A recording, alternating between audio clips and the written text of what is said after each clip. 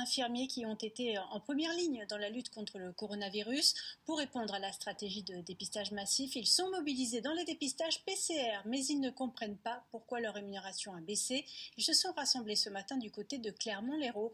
Delphine Aldebert, Juliette Merck. Chaque matin, une trentaine de personnes vient se faire dépister dans ce drive mis en place par un laboratoire à Clermont-Lérault. Mais quatre fois par semaine, ces actes ne sont pas réalisés par des salariés du labo par manque de moyens. Je tourne deux, trois fois et j'enlève le prélèvement. Ce sont des infirmiers libéraux du bassin Centréro qui ont pris le relais. Aujourd'hui, ils ont voulu manifester leur mécontentement. Leur rémunération a baissé de 13,23 euros à 9,76 euros par prélèvement.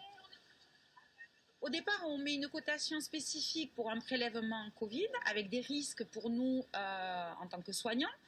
Et euh, on va dire 15 jours après, eh ben, comme ils doivent faire un dépistage de masse, ils baissent cette tarification. Or, euh, les risques sont les mêmes pour nous en tant qu'infirmière libérale et on ne voit pas pourquoi ils baisseraient cette cotation. Car en 15 jours, la stratégie a changé. Les infirmiers libéraux réalisaient des prélèvements dans des centres dédiés au Covid où les patients étaient accueillis et suivis par une équipe médicale.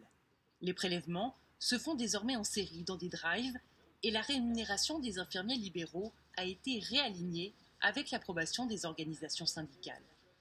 C'est une reconnaissance aujourd'hui. Les seuls professionnels de santé habilités à réaliser ces dépistages massifs sont les médecins biologistes, les euh, médecins généralistes et les infirmiers. Donc je n'ai pas le sentiment que ce soit une dévalorisation surtout sur un tarif qui est identique.